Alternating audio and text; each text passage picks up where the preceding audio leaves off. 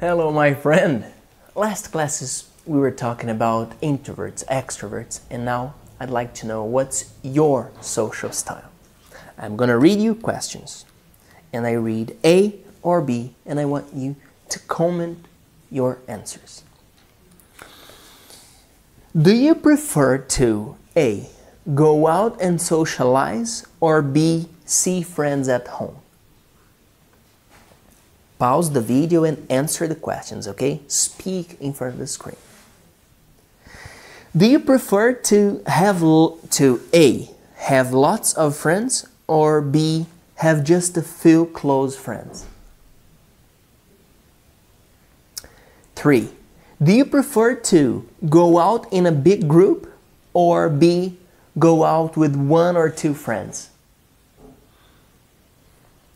4. Do you prefer to be the do you prefer to A be the center of attention or B keep a low profile? 5. Do you prefer to A tell jokes and stories or B listen as other people tell jokes? 6. Do you prefer to A engage in chit chat, or B, have more serious conversations? 7.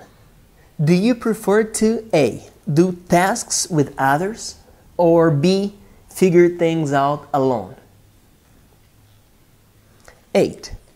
Do you prefer to A. think of yourself as a social animal, or B. think of yourself as an individual? Please answer these questions. Comment your answers here.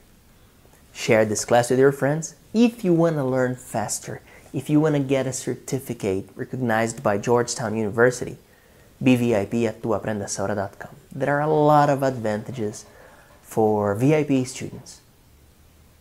Thank you. I'm Felipe Dib. See you next class. One of the easiest and most effective ways to be more sociable is to smile.